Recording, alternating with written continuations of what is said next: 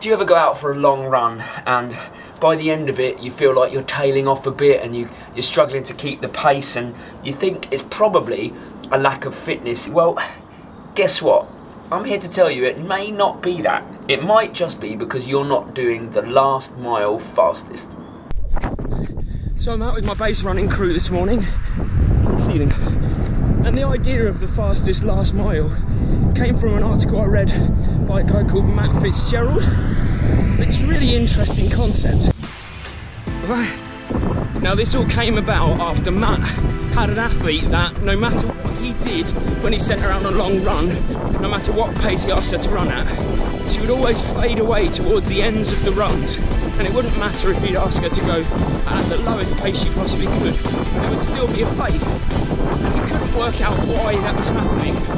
And it wasn't anything to do with her aerobic fitness.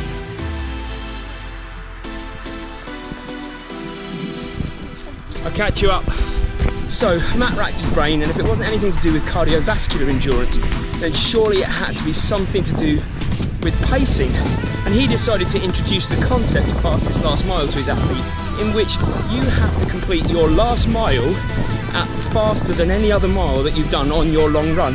And it doesn't have to be significantly faster, it just has to be faster, like second.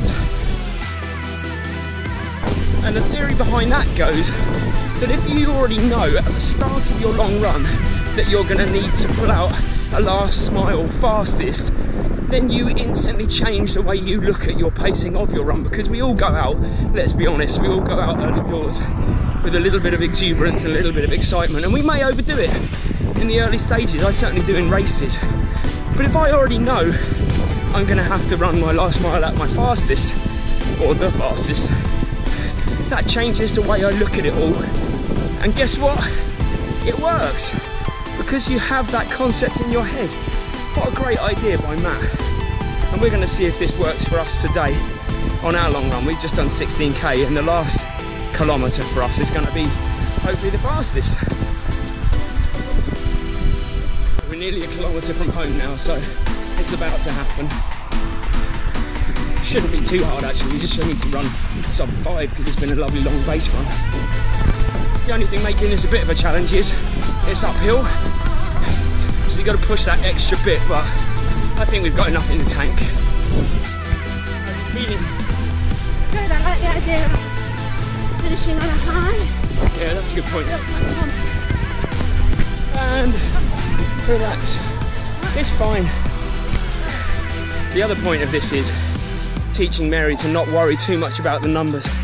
And if we get home 200 metres before we thought we would, it doesn't matter. It's the concept that matters of just pushing it in that last mile or kilometre. Right, Mary? So competitive.